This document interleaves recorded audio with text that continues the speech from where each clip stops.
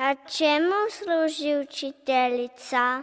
Čemu služi, čemu služi, čemu služi, čemu služi? Da te takne po ramenu i kosi. Čemu služi? U velika carstvo znanja nosi. Čemu služi? Da ti stavi flasterić na rani. Čemu služi? Da te nikad ne ostavlja sam. Čemu služi?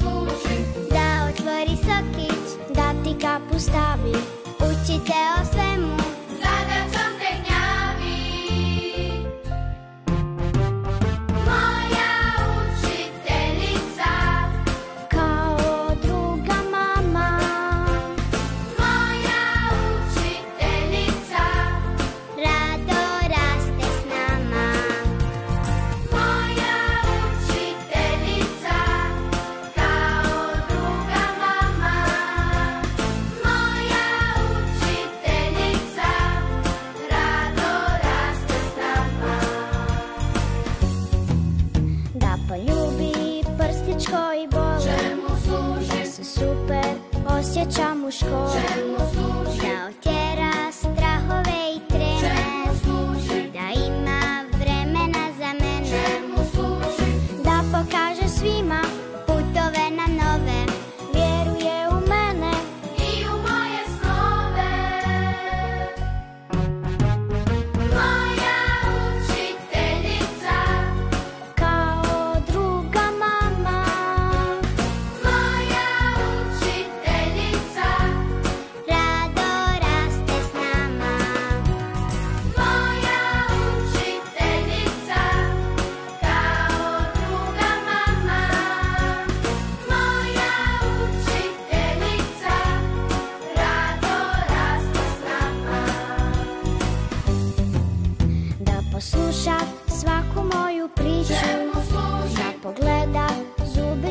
你部付钱，对。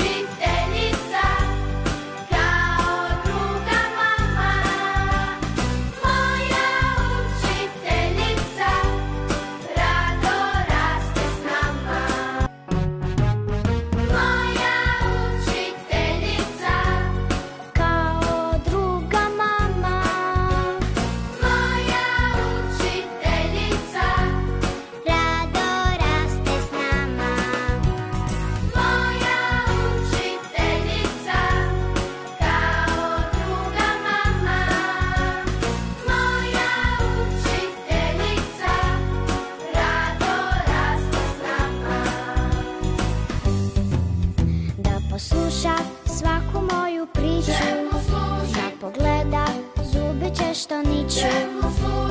Да учи